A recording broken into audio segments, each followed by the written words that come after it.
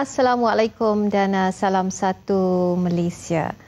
Saudara, menunaikan ibadah haji adalah rukun Islam kelima yang wajib ditunaikan bagi mereka yang berkemampuan dan pengertian haji ialah mengunjungi Baitullah Al-Haram di kota Mekah pada bulan-bulan haji untuk uh, mengejarkan ibadat-ibadat tertentu menurut syarat-syarat tertentu. Dan lazimnya penerbangan ke Tanah Suci akan bermula pada 1 Zulkaidah tahun semasa sehingga 3 Zulhijjah yang mana bagi tahun ini penerbangan kumpulan jemaah pertama ialah uh, pada 27 Ogos iaitu Rabu ini dan uh, penerbangan terakhir pada 27 September.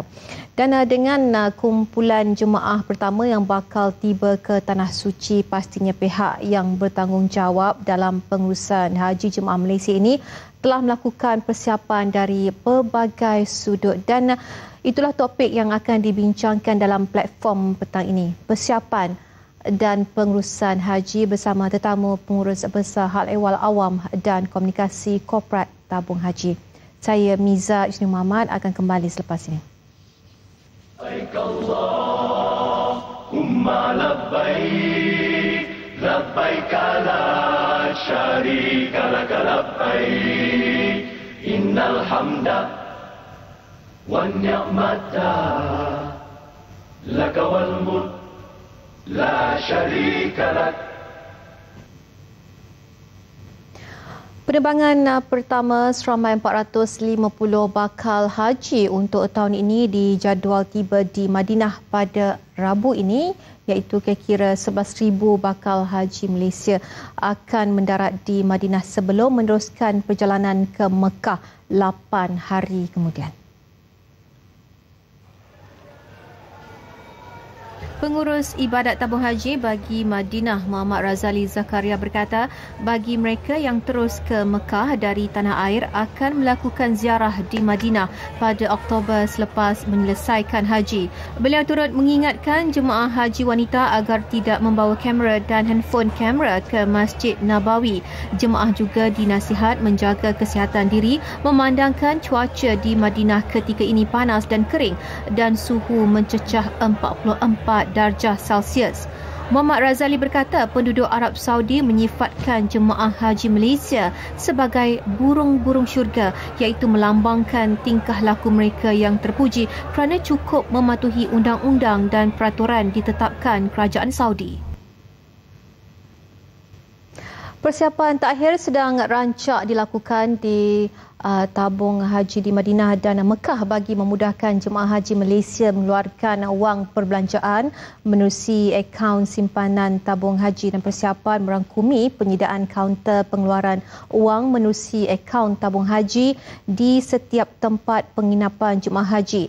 Di Madinah terdapat tiga buah hotel yang menjadi tempat penginapan para jemaah iaitu di Hotel Al-Haram, Hotel As-Sahah dan Hotel Movenpick dan sembilan kaunter serupa juga akan dibuka di maktab-maktab di Mekah. Dan langkah ini bertujuan memudahkan jemaah haji Malaysia mengeluarkan wang bagi mengelak mereka membawa wang tunai yang banyak.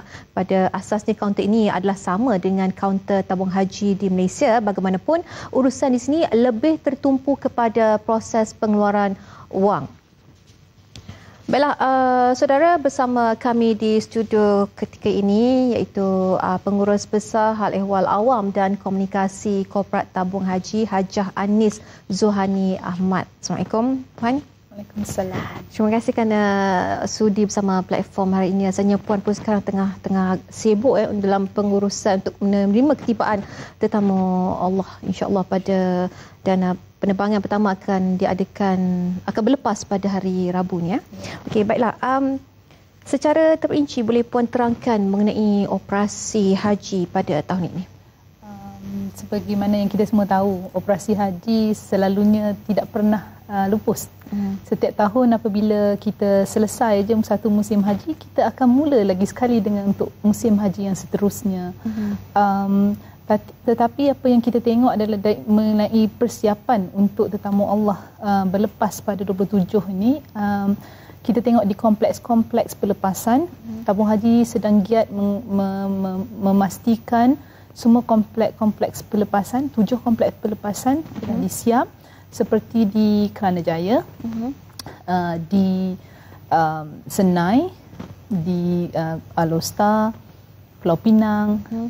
uh, Kuala Terengganu, Sabah dan juga Sarawak. Mm-hmm. Uh, jadi uh, tertumpunya operasi tanah air kita adalah hmm. di kompleks-kompleks tersebut hmm. buat waktu ini. Hmm. Dan uh, manakala pula di uh, di tanah suci kami giat uh, memastikan uh, hotel-hotel, maktab-maktab di Al-Haram, Al-Saha dan Movenpick siap dengan untuk menerima tetamu Allah hmm. dan insya-Allah semua um, semua uh, uh, perkhidmatan-perkhidmatan disediakan seperti kaunter kewangan, uh-huh. uh, klinik, uh-huh. hospital akan siap tidak lama lagi. Okey, jadi sekarang ni uh, kalau diikutkan berapa petugas yang terlibat dalam urusan uh. Uh, operasi haji pada tahun ini iaitu yang berada di di tanah air dan juga berada di, di Um, kita selalunya setiap tahun tabung haji menghantar lebih kurang 600 petugas tanah suci uh-huh. yang uh, terdiri daripada 250 daripada ke, uh, petugas perubatan daripada Kementerian Kesihatan uh-huh. dan selebihnya adalah petugas kebajikan daripada uh, tabung haji sendiri.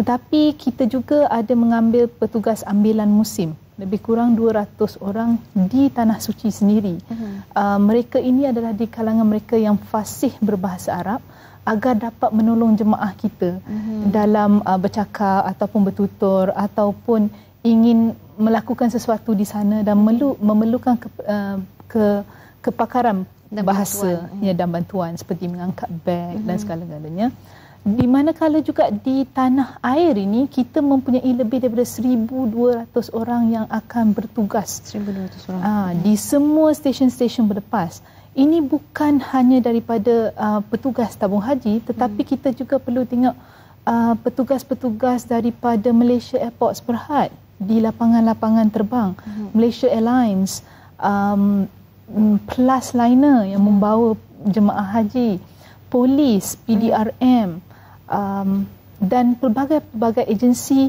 immigration, custom di setiap uh, tempat stesen penepasan. Mm-hmm. Jadi kita adalah satu community sendirilah ya mm-hmm. di, di setiap kawasan itu untuk um, menghantar jemaah haji. Hmm. Jadi petugas uh, seperti yang puan nyatakan tadi 600 di tanah suci dan 1200 hmm. di tanah air. Adakah hmm. um, Contohnya di di tanah suci ada lebih kurang uh, 200 uh, pekerja bermusim dan mereka ini terdiri dari kalangan penduduk yang yang bermastati di sana, sana. ataupun ada juga uh, pelajar yang juga turut serta dalam operasi. Um ianya terdiri daripada penduduk yang bermastautin di sana dan mendapat kelulusan daripada kerajaan Arab Saudi untuk bekerja. Hmm. Uh, mestilah uh, mereka mestilah mendapat kelulusan daripada kerajaan Arab Saudi dahulu. Hmm. Tidak kira mereka adalah pelajar ataupun bukan pelajar, mereka hmm. mesti mendapat kelulusan dan apabila mereka mendapat kelulusan, mereka boleh bekerja dengan tabung haji. Hmm, bukan uh, senang-senang. Bukan untuk... senang-senang hmm. boleh diambil menjadi uh, petugas uh, tabung haji hmm. kerana kita juga perlu me, um, mematuhi ya um, uh, peraturan kerajaan Arab Saudi. Okay. Jadi kalau bekerja di di uh, di Malaysia saya tidak mempunyai masalah. Di Malaysia kita semua tertakluk kepada peraturan uh, bekerja di Malaysia. Uh-huh. Uh, maksudnya petugas yang bekerja dengan tabung haji bertugas di tabung haji juga. Uh-huh. Petugas yang bekerja dengan uh, immigration juga uh-huh. bertugas di immigration. Jadi kita tak ada masalah itu. Tapi di sana kita mesti mematuhi peraturan peraturan okey jadi petugas yang terlibat dalam operasi di uh, tanah suci adakah hmm. mereka ini akan berlepas terlebih dahulu ataupun ada yang um, mereka ini akan berlepas bersama-sama jemaah ataupun mungkin secara berperingkat? Sekarang ni pastinya sudah ada uh, yeah. pekerja-pekerja di di tanah suci. Um, dan mungkin selepas ini akan di diikuti beberapa orang lagi untuk ya. uh, sebenarnya uh, tabung haji telah mula menghantar petugas ya advance party kita hmm. panggil uh, sejak seawal 14 hari bulan lagi hmm. mengikut peringkat-peringkat yang tertentu mengikut uh, tugasan yang diperlukan hmm. seperti pasukan yang pertama ialah pasukan daripada IT hmm. dan kemudian pasukan daripada ke Kementerian Kesihatan pasukan daripada um, uh, media sendiri hmm. yang telah berlepas pada uh, advance party yang ketiga. Hmm. Uh,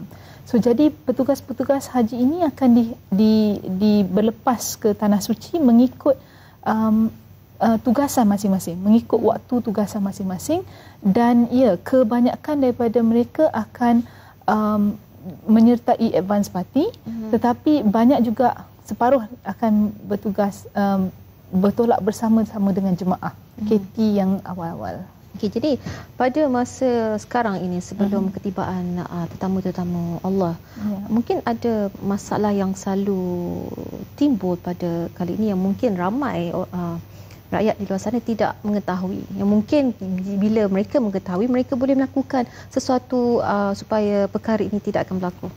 Um, selalunya kita hmm. menasihati jemaah ya yang akan bertolak daripada stesen-stesen berlepas agar mematuhi uh, peraturan-peraturan um, uh, MES hmm. dan Malaysia Airports kerana uh, jangan bawa gunting, jangan hmm. bawa benda-benda yang tajam, apa-apa yang mereka kena patuh untuk um, urusan-urusan penerbangan. Mm-hmm. So jadi kita telah nasihat jemaah-jemaah ini daripada kursus haji lagi mm-hmm. agar apa yang di um, packkan dalam bagasi mereka itu tidak melanggar peraturan mm-hmm. uh, penerbangan.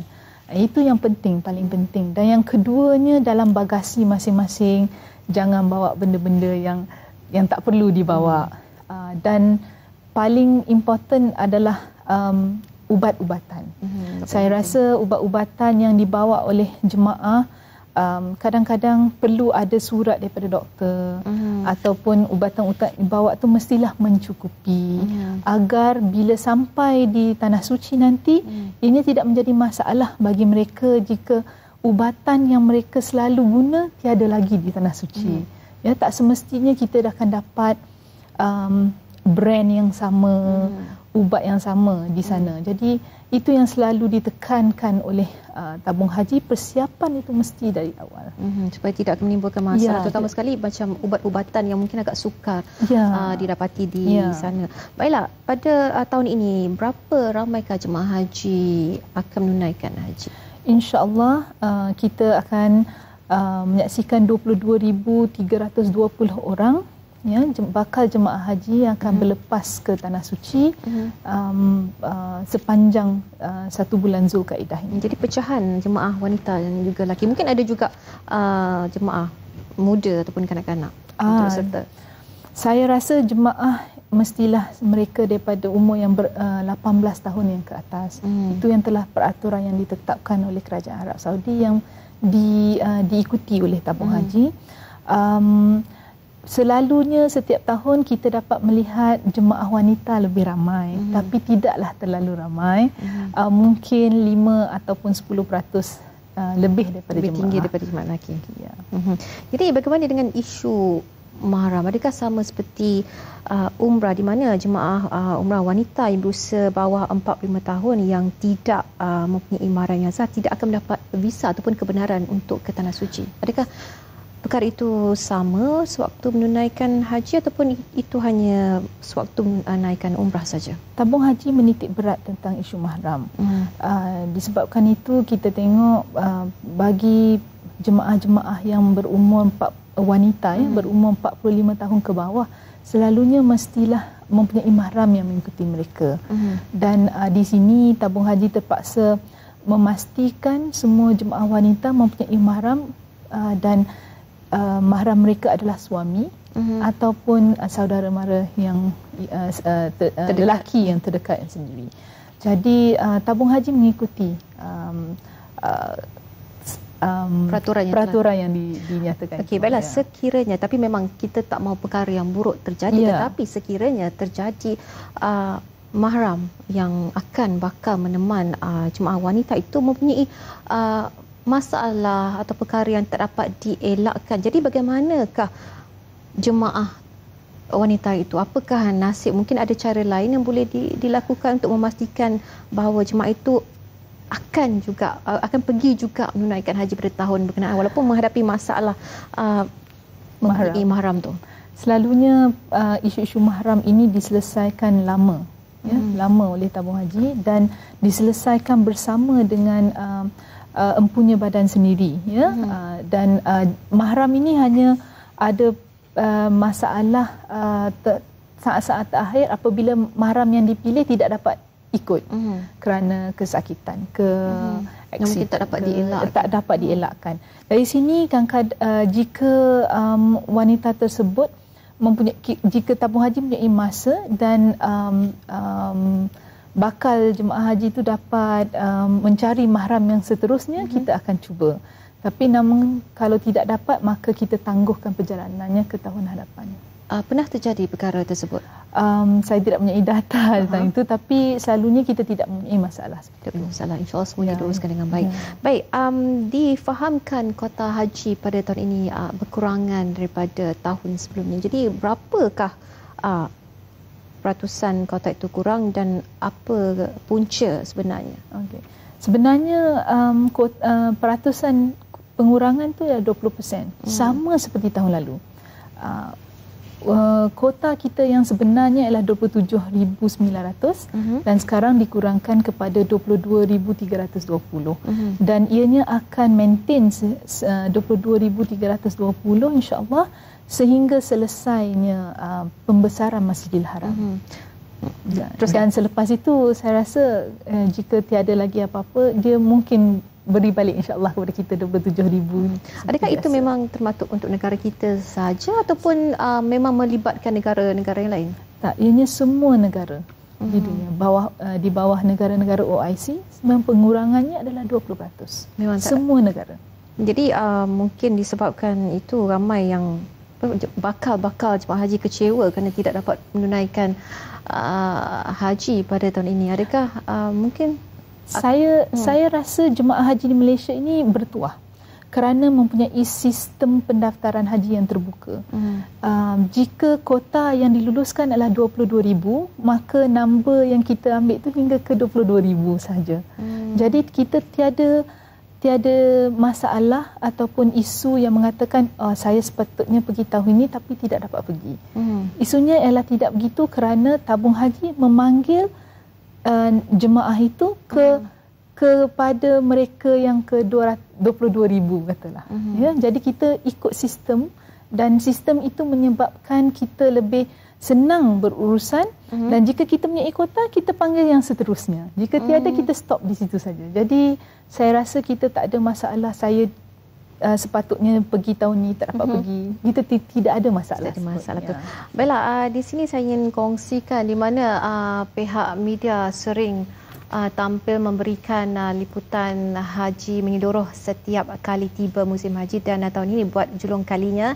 RTM turut menghantar petugas wanita iaitu Syahrul Liza Abu Hassan untuk uh, membuat liputan menyeluruh mengenai jemaah wanita bersama-sama juru kamera Muhammad Ismail Buang. Dan komitmen itu direalisasikan menerusi program Salam Baitullah yang memasuki tahun kelima uh, dan tahun ini dengan kerjasama eksklusif Bank Rakyat dan uh, Rakyat Travel.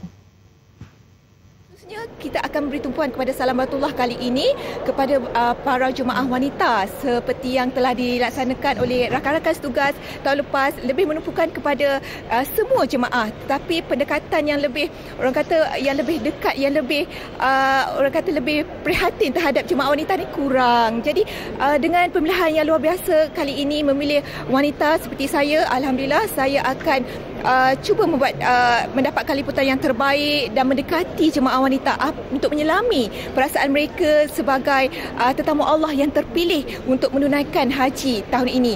Kami bertiga berbangga kerana terpilih untuk melakukan ibadah haji dan uh, dapat melakukan uh, tugasan uh, untuk program Salam Baitullah uh, bersama tabung haji dan bank rakyat. Uh, kami berdoa semoga uh, apa yang diamanahkan kepada kami pada tahun ini kami akan uh, buat sebaik mungkin uh, untuk liputan penggambaran uh, berita uh, SPM dan Salam Batullah dan doakan kami semua berjaya dan tidak ada apa-apa halangan dan kami selamat uh, pergi dan selamat kembali. Bagi Presiden Bank Rakyat Datuk Mustafa Abdul Razak, penaja utama program pemilihan pelapor wanita dibuat bagi mencipta kelainan dan penambahbaikan bertujuan menarik minat segenap lapisan masyarakat untuk menonton rancangan ini. Satu apa uh, konsep yang baru tu apa ni biasanya kru-kru ni semua lelaki. Tapi pada tahun ni ada terdapat seorang uh, kru wanita yang maybe boleh ditugaskan untuk uh, bertemu ramah uh, apa ni uh, jemaah wanita. Uh, jadi jadi dekat dekat situ mungkin kita boleh apa ni tengoklah apa yang kita boleh dapat. Lepas tu harapan uh, saya tadi maknanya dengan apa ni uh, salam baitullah ni tadi kita dapat memperkenalkan uh, produk uh, tabung haji yang dibuat di kaunter-kaunter bank rakyat dan ATM bank rakyat. Di samping dapat kita perkenalkan uh, kad kredit kita debit card kita uh, di samping produk uh, Ranu uh, di apa pajak gadai yang kita ada. RTM dan Bank Rakyat berharap siaran Salam Baitullah musim kelima ini dapat membantu para jemaah haji dan dapat memberi bimbingan serta garis panduan kepada rakyat Malaysia beragama Islam. Program ini dijadual bersiaran pada pukul 9 hingga 10 malam mulai 16 September hingga 8 Oktober di TV1. Kali ini segmen perjalanan Tanah Suci diperkenal memaparkan persediaan jemaah haji dari Perth, Australia, Palembang, Indonesia dan Naratiwat, Thailand. Tabung Haji memperkenal dua lagi lokasi tambahan dalam uh, program ziarah tahun ini iaitu lawatan ke Masjid Ijabah dan Masjid Jumaah di Madinah. Masjid Jumaah adalah masjid di mana Nabi Muhammad wasallam mendirikan solat Jumaat pertamanya selepas berhijrah ke Madinah. Masjid Ijabah terletak kurang dari satu kilometer dari baki tanah perkuburan utama di Madinah di mana sebilangan ahli keluarga Nabi Muhammad sallallahu alaihi wasallam disemadikan dan ia sebagai inisiatif terbaru tabung haji bagi menambah pengalaman dan pengetahuan jemaah haji. Dinyatakan pengurus bimbingan Haji Madinah Haji Muhammad Razali Zakaria dalam satu sidang media di Madinah. Sebelum ini, para jemaah haji hanya melawat dan bersembahyang sunat Masjid Quba, Masjid Qiblatain, Masjid Tujuh, Makam Syuhada Uhud selain Masjid Nabawi. Yang pertama, uh, kita ziarah Masjid uh, Ijabah eh, dalam laluan yang sama. Kemudian kita tambah dengan ziarah ke Masjid Jumaah di mana tempat tersebut merupakan tempat pertama umat Islam mengerjakan sembahyang Jumaah. Katanya kedua-dua masjid berkenaan terletak berhampiran Masjid Quba. Sebanyak 10 buah bas disediakan bagi setiap program ziarah yang membabitkan kira-kira 400 jemaah. Dalam pada itu, para jemaah haji juga akan sentiasa diberi bimbingan menerusi taklimat ziarah dari bilik ke bilik dan menyediakan ruangan khas untuk pertanyaan. Selama 8 hari berada di Madinah, mereka akan ditempatkan di Hotel Al-Haram dan Moving Peak yang terletak kira-kira 100 meter di belakang Masjid Nabawi.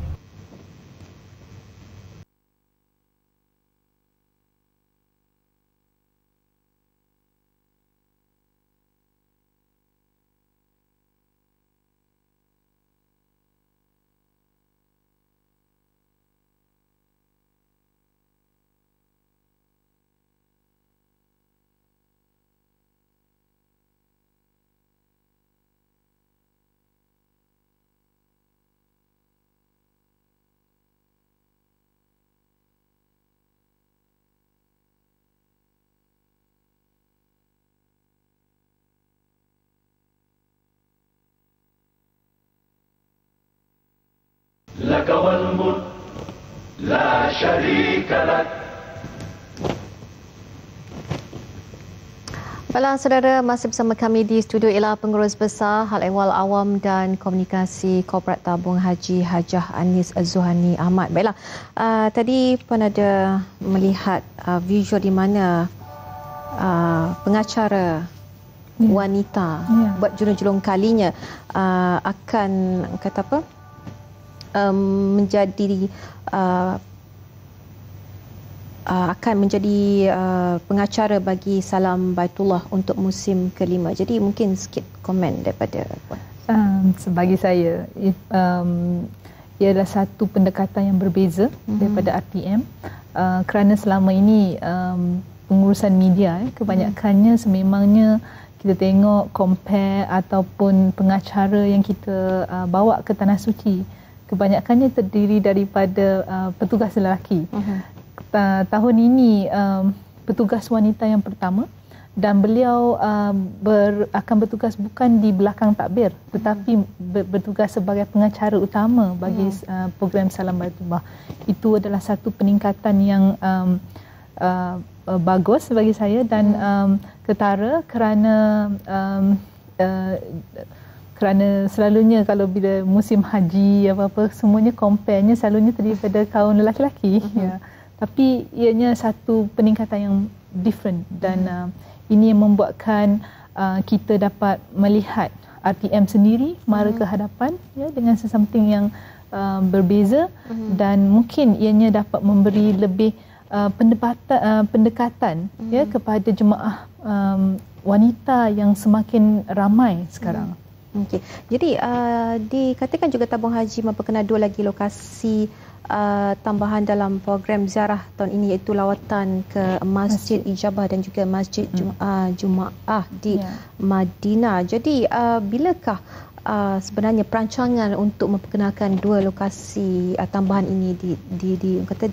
mula dirancangkan? Uh, selalunya selepas musim haji setiap hmm. tahun kita uh, di tabung haji akan mengadakan sesi postmortem. Uh, di dalam sesi postmortem ini uh, pelbagai um, uh, isu-isu pengurusan penambahbaikan dibincang. Uh, jadi sebenarnya setiap tahun apabila habis musim haji kita akan mula dengan uh, postmortem dan di sewaktu postmortem inilah hmm. kita me- mencadangkan penambahan, penambahbaikan, um, lokasi ziarah yang baru dan uh, ianya akan di uh, di buat dan diprogramkan dan um, insya-Allah apabila ianya selesai ianya disambungkan untuk tahun yang sebelum hmm. selepasnya. Okey. Baik, um, berkenaan dengan um, kos, kos untuk mengerjakan uh, ibadah haji. Jadi perbezaan kos pada tahun ini dengan tahun lepas dan mungkin ada peningkatan pada tahun-tahun seterusnya. Ya, sebagaimana yang semua hmm. um, um, umat Islam di Malaysia tahu setiap tahun peningkatan kos haji ini tidak boleh dielakkan. Hmm. Um, perbandingan kos, perbezaan kos pada tahun ini dan tahun lepas saja adalah lebih kurang RM600 di mana um, kos sebenar tahun ini adalah RM16,155 hmm. uh, dan uh, daripada kos itu uh, tabung haji memberi uh, subsidi ya uh, sebanyak 6175 hmm. bagi jemaah uh, muasasah yang pergi ke haji pertama kali tiada peningkatan pembayaran hmm. uh, pembayaran kos haji iaitu mereka tetap membayar RM9980 jadi bagi saya uh, tabung haji telah berjaya uh, memastikan pembayaran haji kepada jemaah muasasah pertama kali ini uh, sebanyak 9 tahun yang lalu. Sejak 9 tahun yang lalu, sejak tahun 2009 masih kekal pada 9980. Hmm, jadi uh, kata apa kalau harga dah beza pastinya ada penambahbaikan yang yang selalu dilakukan oleh tabung haji. Jadi apakah uh, penambahbaikan yang akan dilaksana pada tahun ini ataupun telah pun dilaksanakan oleh pihak tabung haji pada musim haji pada tahun ini? InsyaAllah pada tahun ini uh, tabung haji akan melakukan um, dua penambahbaikan yang amat ketara. Uh-huh. Um, penambahbaikan pertama adalah mengenai city check-in. Uh-huh. Uh, tahun lepas kita telah menjalankan pilot project city check-in uh-huh. uh, dan tahun ini kita akan melaksanakan city check-in secara sepenuhnya di Madinah dan di Mekah. Uh-huh. Ini dapat memberi lebih keselesaan kepada jemaah kita kerana beg-beg mereka akan diambil daripada uh, hotel dan dihantar ke airport terus uh-huh. dan jemaah tidak perlu transit di Jeddah lagi. Uh-huh. Mereka akan bertolak daripada uh, maktab-maktab mereka di Mekah terus ke airport. Uh, itu itu penambahbaikan yang uh, yang yang paling ketara. Uh-huh. Dan yang kedua adalah mengenai talian ibadat. Um, ta- dua tahun yang lalu tabung haji me- mengutarakan talian ibadat untuk jemaah menalipun di sekitar kota Mekah mengenai isu-isu ibadat mm-hmm. jika mereka mempunyai uh, masalah ibadah. Tetapi tahun ini kita akan mempertingkatkan um, uh, talian ibadat itu dan kita akan ada satu lagi talian iaitu talian kaunseling. Mm-hmm. Dan talian kaunseling ini boleh digunakan oleh jemaah-jemaah untuk menelefon uh, kepada petugas-petugas kita yang mempunyai uh, mungkin mereka mempunyai masalah peribadi mm-hmm. yang memerlukan masalah emosi ataupun masalah um, dari very personal mm-hmm. uh, peribadi dan ianya boleh kalau dia malu untuk datang ke kaunter mereka boleh melalu, melakukan melalui telefon. Okey. Baiklah um, satu perkara lagi bagi mungkin yang uh, belum menunaikan haji dan mahu berbuat demikian. Jadi apa nasihat puan dari segi pendaftaran, simpanan dan persediaan-persediaan lain yang mereka patut lakukan ataupun mereka patut sediakan daripada sekarang? Um, bagi lembaga tabung haji, hmm. apa yang kami selalu sarankan adalah mendaftar awal. Hmm. Uh, dan kami juga memohon uh, mengalu-alukan pendaftaran anak-anak saudara dan saudari sendiri uh, hmm. untuk mendaftar haji uh, daripada usia yang muda hmm. agar dapat um, mereka menjalani ibadah haji uh, di usia yang muda juga. Hmm. Jadi kita sarankan semua penontonnya agar dapat uh, mendaftar haji cepat dan uh, juga mendaftar anak-anak. Okey. Baik. Seseorang tu telah mendaftar. Okey, seperti saya pun memang pernah mendaftar. Yeah. Jadi uh, dalam kertas ataupun resit mendaftar hmm. tu telah dinyatakan tarikh yang saya ataupun mungkin uh, tarikh giliran. Tetamu uh, mungkin rakyat Malaysia pen, uh, tahu tarikh kita akan berangkat ke tanah suci. Jadi sekiranya seseorang itu sudah cukup syarat uh-huh. dan persediaannya sudah lengkap, adakah kemungkinan besar tarikh itu akan dipercepatkan?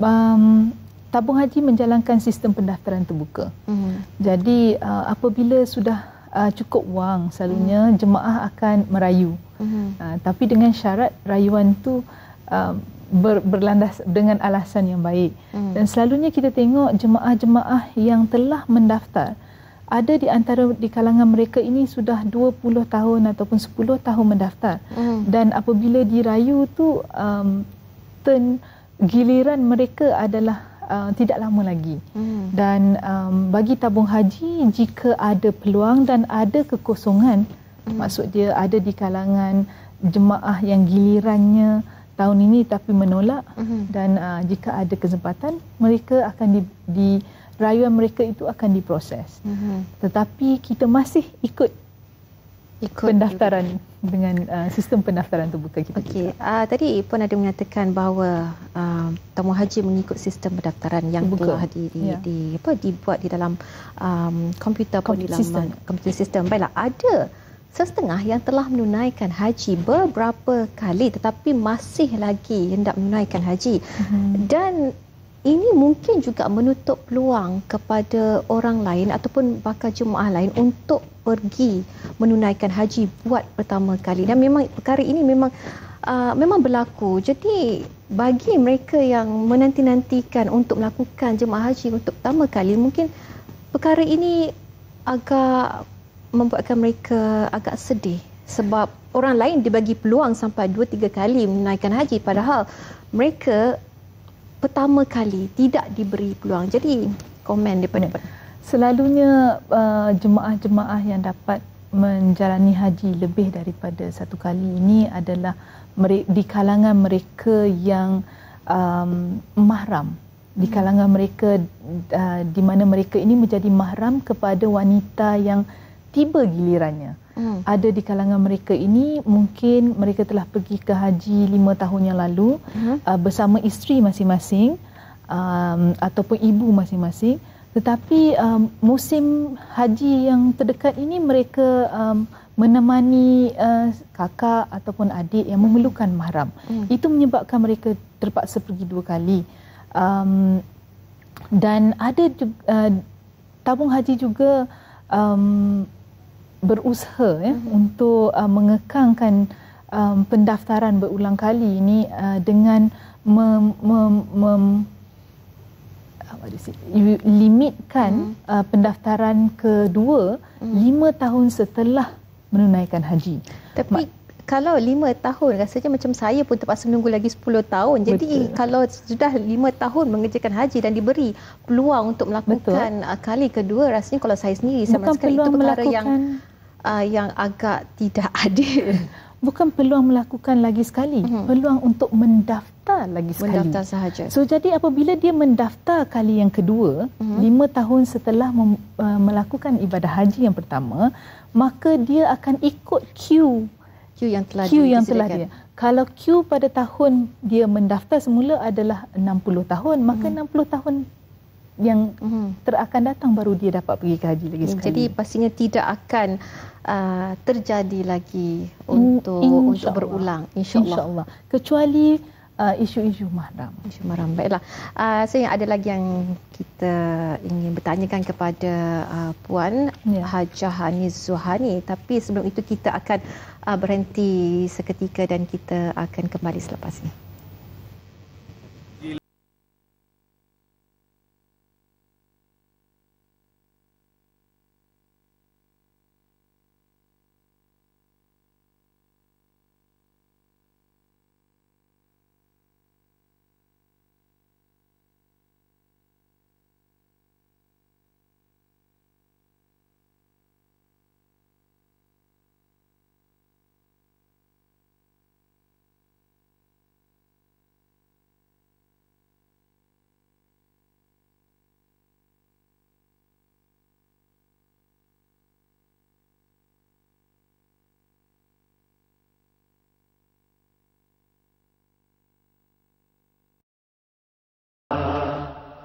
لك والملك لا شريك لك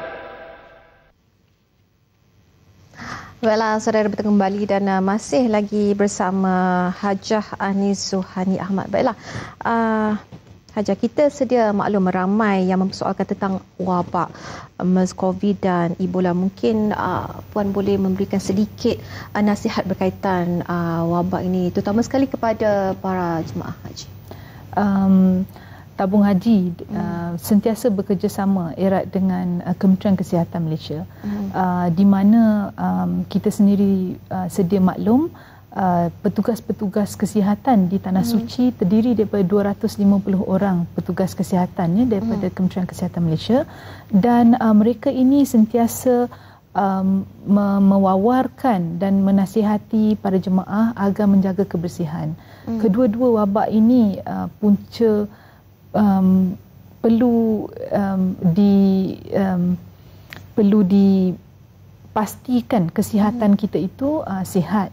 Nombor satu dari segi kita punya um, uh, daya tahan diri sendiri uh-huh. yang kita terpaksa uh, jaga dari sekarang sebelum pergi ke tanah suci. Ya, vitamin, mhm. multivitamin uh-huh. yang perlu di, diambil dan kedua ialah dari ke, segi kesihatan kita di sana uh-huh. seperti memakai um, penutup sarung mas muka um, batuk menjaga uh-huh. diri daripada berdiri terlalu dekat dengan orang yang berbatuk terlalu uh-huh. kuat um, um, membasuh tangan ya membasuh tangan dengan baik dan bersih dan semua langkah-langkah um, langkah-langkah kesihatan ini telah diulang dan diberitahu kepada jemaah haji sejak dari awal kursus asas haji lagi. Uh-huh. Jika jemaah kita um, mengikuti uh, apa yang saranan yang telah dinyatakan oleh Kementerian Kesihatan, insya-Allah mereka uh-huh. ini terjamin. Uh-huh.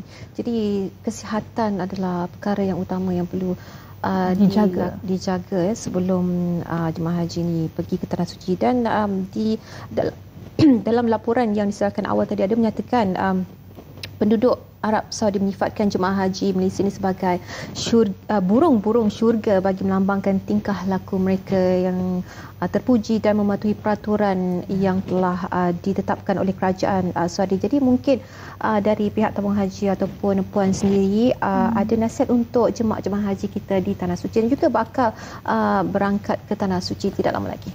Um, kami di Lembaga Tabung Haji sentiasa menasihati jemaah-jemaah bakal-bakal jemaah haji agar um, sentiasa mematuhi peraturan-peraturan yang dikeluarkan oleh kerajaan Arab Saudi hmm. uh, baik di pintu-pintu masuk ya baik hmm. di pintu-pintu masuk lapangan terbang di Madinah ataupun di Jeddah hmm. ataupun di um, Masjidil Haram dan Masjidil Nabawi. Hmm. Jadi um, rakyat Malaysia sentiasa terkenal dengan uh, sifat um, uh, sopan santun yang sehingga kini kita belum kalau uh, belum dapat diatasi oleh dari negara lain ya. Hmm. Jadi kita harap jemaah haji kita tahun ini juga akan meneruskan kesinambungan ini hmm. uh, agar kita sentiasa uh, berhemah uh, dalam kita punya um, pergerakan kita dan kelakuan kita di tanah suci nanti. Okay. Baiklah, um, terima kasih banyak uh, saya bagi pihak penerbit uh, kru platform mengucapkan terima kasih sekali lagi kepada uh, Hajar Anis Suhani Ahmad iaitu pengurus uh, besar hal ehwal awam dan komunikasi korporat tabungan haji. Terima kasih banyak puan. Baiklah, um, saudara sekian uh, platform uh, hari ini dan uh, lagi topik berkaitan haji dalam uh, platform 2.15 petang esok yang uh, akan membincangkan tentang uh, ubat-ubatan persediaan jemaah haji. Pasti itu salah satu yang amat penting. Eh? Ya, sangat penting. Sangat penting. Baiklah, uh, dan uh, kepada semua uh, bakal jemaah haji, semoga perjalanan ibadah anda dipermudahkan sempurna dan mendapat sebaik-baik ganjaran haji yang mabrur. Saya Miza Ijdi Muhammad. Sampai jumpa lagi insya-Allah. Assalamualaikum dan salam satu Malaysia.